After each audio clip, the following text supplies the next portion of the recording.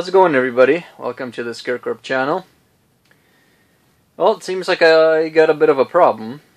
Uh, so we got uh, about a foot of snow last night and I was trying to start my snowblower and uh, do some snow blowing. Then I ran into a bit of a snag and I happened to break it. The snowblower that is. So let me start uh, from the beginning and I'll show you what I did. So there's my snowblower. It's a SnoTek. Um, you might uh, have seen it from my other videos when I do a walk around it or an oil change or whatnot. Put the light here somewhere. So anyway, um, hasn't been started for a while because we haven't had snow for a little bit, and um, so I was trying to start it, and this thing was uh, probably had some old uh, fuel in it, and it didn't want to start. So I was pulling on it, pulling on it, and I got uh, pretty upset. I let go from about a couple of feet. This thing snapped back, and it hit this. So this goes in here. It's my shut off valve for the fuel. Um, it basically came back, knocked knocked on it pretty hard, and this thing busted off.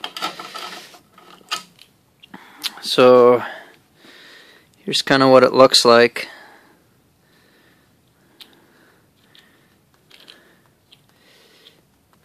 So it's these two rivets here on on the end that just basically cleanly busted right off. So I'm not sure what I'm dealing here with yet. Let me see if I can show you what the inside looks like.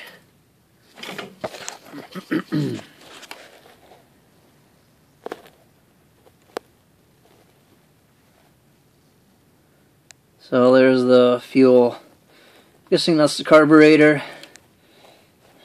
Let's See if I can get a light on it.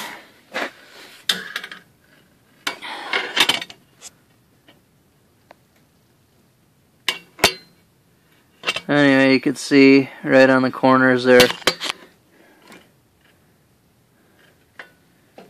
the uh,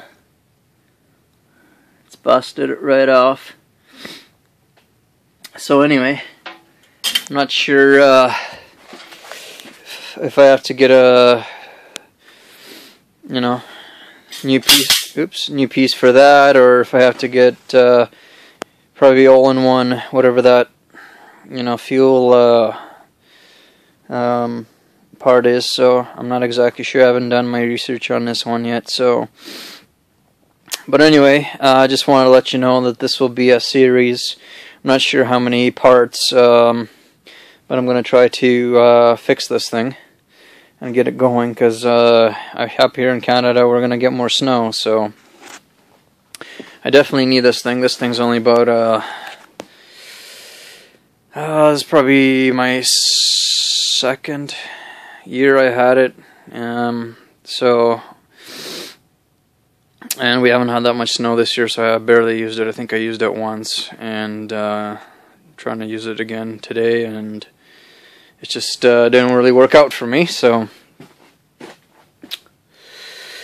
Well, um, if you guys know what I'm dealing here with, uh, I would appreciate uh, something in the comments uh, below um, where I can start, or you know, if uh, if anybody knows anything about this, um, what part I need or whatnot, I would uh, really appreciate some input.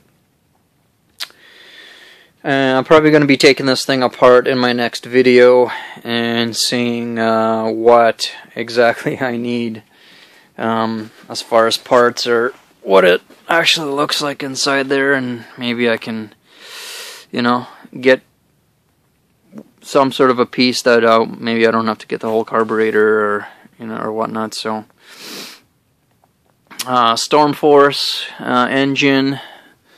Uh, uh, if you check my other video you'll be able to see what uh, model exactly it is. I don't Remember, I don't have the manual here with me, so.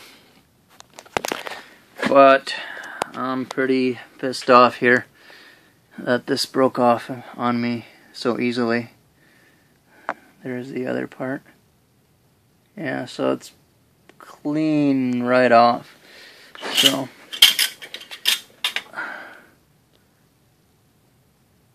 not very cool.